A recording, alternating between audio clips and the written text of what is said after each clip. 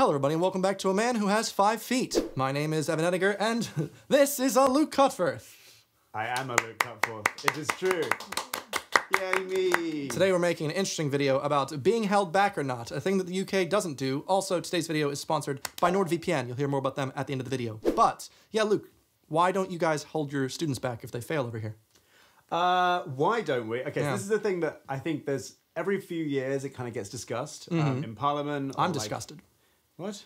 Okay. Uh, every few years it gets discussed, and then um, I guess it's just like there's there's not an awful lot of evidence to support it, as far as I know. What, that, it's, that it helps? That it helps, yeah. I think the stuff I've seen, it generally is like uh, it helps maybe for a couple of years, but by the time you actually get to the end of school, the results are sort of negligible. Bec- and one of the theories on that, I think, is like because actually it gives you quite a big knock of confidence to be held back. Oh, yeah, definitely. And so that might actually then make you less like his confidence is part of. It's not Mm. just being like thrown a bunch of information. It's also about confidence and um, emotional development and all that kind of thing. So then, because for us, if you fail a grade, which means if you get under a 70% usually, like a D Mm. for the entire average, you strongly get, I think it's not strongly, you just have to get held back at that point if it's under, which means you then s- spend another, another year not with your friends, you have to make new friends. Yeah. Being the older kid. I think you've just answered why we don't have it. I guess is because well, I think. But then what do you do? Do you just constantly have the kid like failing upwards? Uh, yeah, very possibly. Obviously, there are downsides to both strategies. Yeah. But your side sort of leans towards, our side sort of leans towards a, a kind of holistic view of education, which is Mm-hmm. it's not just about um, information retention and comprehension of that information. Yeah. It's also about, you know, you're learning how to operate in the world and learning how to sort of make friends and sort of, uh, you know, But be isn't- a person. Isn't that a risk then of having students finish the schooling system not being able to retain like the derivative of 2x dx? Oh, yeah, From man. 10 to 13? What a horrible outcome that would be. Well, basic things then, like certain history, geological stuff, Yeah, so that's that is exactly, exactly the point. Is that I guess, or at least English. It's sort of a wider philosophical discussion about what the purpose of school is, and it sounds like the American system. If you have the system where you're holding people back, or indeed letting people skip years as well, um, that is focusing entirely on information retention and information comprehension, Yeah. which is the sort of surface level Yeah, yeah, yeah. purpose There's of school. More than that is what you're saying. Yeah, and I think that the the downsides of holding people back, I guess, might be the reason why it's not been implemented. Although I think it is quite a popular idea. I think it's fairly well um, accepted by Mm-hmm. by sort of the general population. If you poll people in the UK, they're actually kind of favourable for it. Because Yeah, don't you feel like rather than have a student failing and then gra- going to the next class and then always failing to possibly be held back so that now, wow, they got, they did well and then they get confidence from that? From actually like being better because they've had to learn it already once and so then they're a bit better off? Yeah, to be clear, I don't think there's any any bad like, and there's nothing inherently bad about the idea of, of holding Mm-hmm. people back. And actually, yes, the, what you're sort of describing there, I guess, is like the idea of holding people back sort of moves it closer to this, um, like you having your own individual, uh, almost like tutoring, right? Yeah, Because yeah. If you're taking longer, the school holds you back, and then you get to relearn everything. Mm-hmm. And that is the positive side, I guess, of it is that um, you get you get a sort of a slightly more customized schooling experience. Whereas in in our schooling experience, it's just like you're in this class, you'll be in this class. You guys have sets, don't you? Yeah, So, exactly. we don't. We don't really, from my experience, I never really had sets uh, until you get to like high school. And then you have like the standard Ah. college prep and then honors or AP advanced placement. and maybe you don't have sets because if you fail, you just get held back. So like our Yeah. version is like um, if you've got, for example, maths, Yeah. you go into like different math sets, and which are um, full of people, students that are also as the same level as you. yeah, right. It'd be like it's like in a, a few bands, right? You got like higher, you got sort of middle, and then you'll have like I think lower end. personally, I think that allows the students that are really good to excel Yes. more. But then, what about the other people? Well, the, the other people get sort of like you probably each set is probably targeting a certain grade. Right? Um, and so if you're in the top set, you are looking to get an A star A. If you're in the medium set, maybe you're looking to get a B or a C. And if you're in the lower set, maybe you're looking to get like a D um, or a C, right? And so um, if you're in the lower sets, you, they're probably not teaching you. They're probably teaching you enough to get what they expect the grade that you will get, and that can be to a certain extent like a false, uh, a, a self fulfilling prophecy. Yeah. Um, but it's about like accepting where somebody's at, Yeah. meeting them where they're at, and then trying to raise them up. And if you, you know, are like targeting a, a C or a D, and then you're being taught the stuff that will, that will like set you apart in the A star A band, that's a waste of your time, to be honest.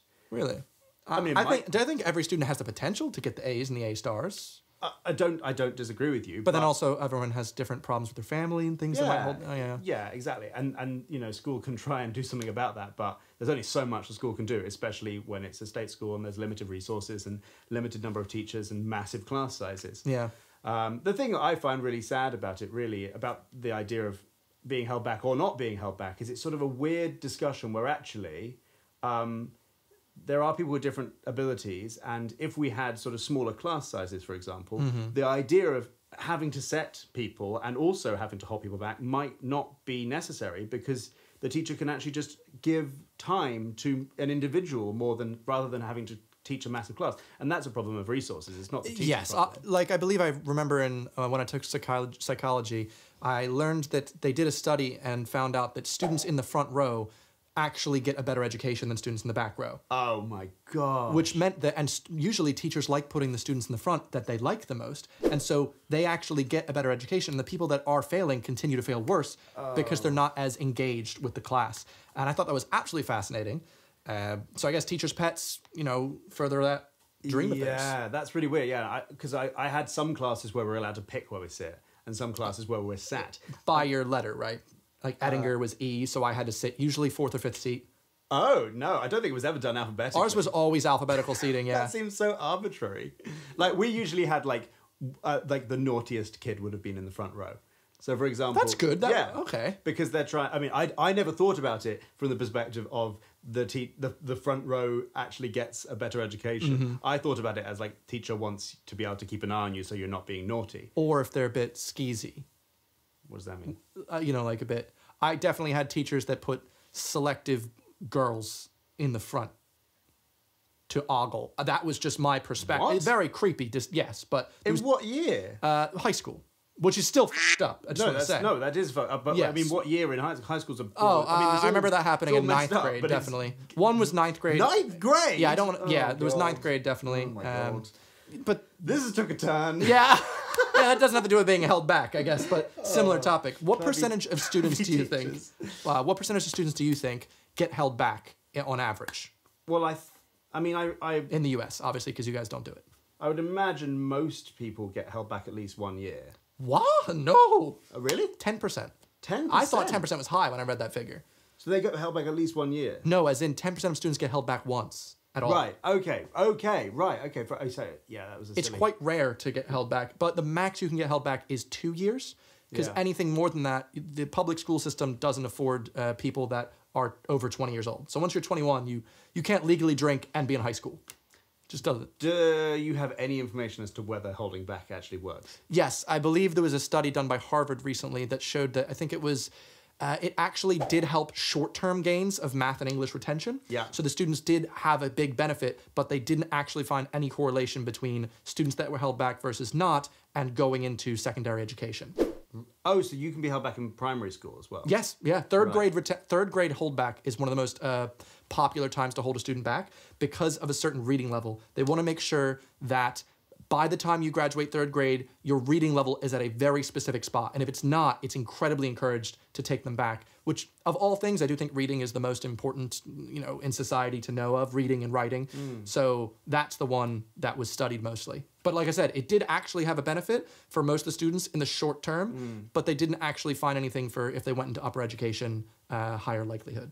I feel as well. Like, I mean, obviously you can't cater to this because Mm-hmm. um, it it sucks. It, like, kids will always find things to bully each other for. Yes. But I feel like getting held back, held back, would be like a real source of bullying. And then you're just like, like, there's already the problem. But you're bigger than them now. Well, you become the bully. You are, but maybe they'll all like Hold back your fist. They'll all gang up on you. Like if you're you, you might be bigger than them, but if there's like five of them, and it's also like emo- emotional bullying. Oh, not yeah, yeah. like punching you. yeah, it um, doesn't feel good to to know that you got held back. It's a big confidence thing, I think, like you said. Um, however, I think usually after the first year, you're then part of that year. Yeah. So it's not like everyone knows you from, especially because at least from my school area, you go to the same primary school until sixth grade, Hmm. and then you move on to middle school and then high school. So people aren't going to know if you move to a different high school that you were held back in third grade. It's actually a really interesting point as well because like the idea of holding holding back, Mm-hmm. um, it also comes into the sort of the idea we have, which is like you're put in year boundaries based on when you were born, right? It's like horoscopes. yeah, exactly. and and what's really strange about that is like you can be really young for your year, and Mm-hmm. you can be really old for your year, and you can you're actually in the same year as somebody who's like like like eleven months older than you. Yeah. And then peop- the oldest people in the year below are like a couple of weeks younger than you. Yeah, you would have been eight months older than me because you're in April. I'm a July. So I graduated high school at 17, and I was always the youngest in every single class. Uh, and that's because at the, the- you have the decision as a parent when your child turns like four to put them in then or wait a year. And my parents put me in early, and I played a lot of Math Blaster, a lot of video games about learning. So I was totally fine. And when's your year boundary in America? I believe it is. What do you mean year boundary? Oh, so you, but, but your parents can pick. So there might be isn't. You can only pick if you're a summer child. Okay. So, we- yeah. our year boundary I think is September. I'm pretty sure. Oh, I think ours is August because our school year, if you know, as you know, starts in September and ends in June. So we have July and August completely off to party it up. Right, because I was really young for my year as well. I think. As an April birthday? Ah, maybe I'm wrong. Maybe I'm wrong. I don't know. I, I, I well, I was really small for my year. Oh, well, you're really small for your year still. So Like, so maybe yeah, maybe not. I don't know. I I'm, just I'm five foot ten plus. So Yeah, so maybe I actually was about half. I was like bang in halfway. Actually, I think maybe. Um, yeah, Uh, but I I do find it a very interesting thing that you have like you can be in a school year Mm-hmm. based on um, that is essentially like being held back. Yes, If you're- it is. If you're really Or skipping. old for your year or you're really young for your year, that's like being in the wrong year. It's like being But, held back or skipping. yeah. are you guys in the UK allowed to skip forward? No. I What? mean, so I'm talking very generally. I think there are a few cases of people being held back. And I think there are. I don't think I've ever heard of a case of skipping forward. Really? Because that's a big thing. If you pass a lot of tests really, really well, they're like, why don't we push him forward because he can exceed even more? Like he's wasting his time. Yeah. As a kid, uh, if I wasn't fully engaged and I felt bored of the content, I would then do badly. Boy, I put it on two times speed and, if they had two times content in school, I would have done so much better. I just got bored, and so they had to have special classes to be like, wake up. I yeah, I I I okay, I'll put it this way. I learned about being held back in school. Yeah. from American TV that I was watching. So if it is occasionally a thing, then maybe. Uh, maybe it But your thought is it's probably just because you've seen too much TV. Well, I just don't think it's particularly happens in the UK um, ever. Uh, Mm-hmm. And not even like a genius boy would skip forward. I don't think so. You might but be put into um, Special something learning. I did, which was leap. a higher maths. Yeah, So like I then did an extra thing on top of doing maths. I did like higher maths. Yeah, I did as well. yeah, so yeah. I learned a more like I was doing a bit of A level maths whilst I was doing GCSE maths. What year Um, would that be? That was year eleven. So Oh wow, so quite late. Yeah, so that's us with advanced placement. You could take Yeah. the college math and take the standard math. But in primary school, we only had the option of they'd pull you aside if your school had the budget for it to the you're going to do the advanced like logical reasoning and cultural diversity classes while everyone else does like basic reading. yeah, and that would have been top set. And we also had like gift- the gifted and talented. That was what I- that's what it was, yeah. Um, which you know has various uh, criticisms. I do agree, but. I also think from my experience of it, that helped me be better, I guess. But also, I understand that not everyone had that opportunity, but I tested to it, so it's not like my Yeah, fault. Yeah. But I also understand that everyone should have the opportunity for that level of one-on-one teaching, but obviously that's Wait, budgeting. one-on-one teaching. So it was like three on one. So it was like three students in my entire year, and we would spend about two periods of primary school being with a teacher who would help us through logical reasoning tests and puzzles. And that would help our minds grow in that way. And we'd learn about Japan, we'd learn about different cultures, uh, and then we'd go back. And it was because we had tested like 100% on the math and the reading tests. Oh. And so they were like, we don't need them to be in here. I didn't do anything like that. No, not at all. I went to like summer camp physics at, at That's pretty cool. at Durham University. That's not cool. and I did after school after school extra maths. Didn't Um, you do a robot club as well? did you get that from my Wikipedia? Yeah. yeah, I did. A, yeah, in year like eight, I was part of like this robot team, Mm-hmm. and we like built robots, and we went off to do robot challenges, and we won one of the robot challenges. So that was pretty cool. so in um, the end, do you actually think we should hold our children back if they aren't up to spec? No, Really? I think we should. So yeah, this has been a lovely conversation, but I'm also thinking yeah. that still should be a thing, but also the jury's still out. But I think it's I like the option for safety. I think we should put a bit more resources into schooling and have a bit more, um, have smaller class sizes. Absolutely, yes. Mm. And more opportunities for people to be helped if they're struggling. And, Tutoring, yes, Yeah. there, there's 100% should be more tutoring for kids that need that and ability. you have it on the extreme end. Like, so if you have like learning difficulties, you're taken away into a Yes. different class. but that has a lot of negative connotations, at least where I'm from. Massively. Yeah, yeah. of course. Which is frustrating because that's so important, but yet kids are going to bully for anything. You know what I'm saying? Yeah, it's interesting because I remember in primary school people being taken off for um, special needs uh, We had it for speech therapy. classes, and I never knew where they were going. I was always Mm-hmm. just like, "Where's Sam off to?" I never really got it. Um, they didn't really explain it. That's then- probably best for bullying yeah, purposes. yeah. But then I, I don't feel like I was in a class that would have been particularly cruel about it if they'd known, and maybe they did know. Maybe I was just really oblivious. but yeah, I don't, I don't personally feel we should be holding people back because it, it I see school as about so much more than just learning Numbers and, and- yeah, yeah. retention and that stuff. It's so much more than that. It's like little, it's like a little tiny society that you're learning to be part of. Mm-hmm. And so if you, you know, if I if I gave you, right, we're in society, and I want to find out how good you are at using a Mac, Mm-hmm. and then you're not very good at using a Mac, and so I take you away from all your friends, like that's just. so well, then you get good at a Mac. Yeah, and then you don't have any of your friends anymore. You have a Mac, it's fine. This is not sponsored by Mac. However, please, if you have a different opinion uh, or you agree with Luke or me, leave a comment. We can have a discussion. I just thought this was an interesting topic because I couldn't believe they don't hold kids back in the UK. And there's no right or wrong answer, but I thought it was interesting. Also, today's video is sponsored by NordVPN. Luke, you use NordVPN, right? Yes. Uh, NordVPN is great use of my time as someone who's been staying in different Airbnbs for the last five months. So that way, no one in this place can steal my data or at least look on the network and see what I'm doing if they're pretty knowledgeable. Also, it allows me to watch my Netflix in the US where they have a much larger, I was going to say suppository, but that's not the right word.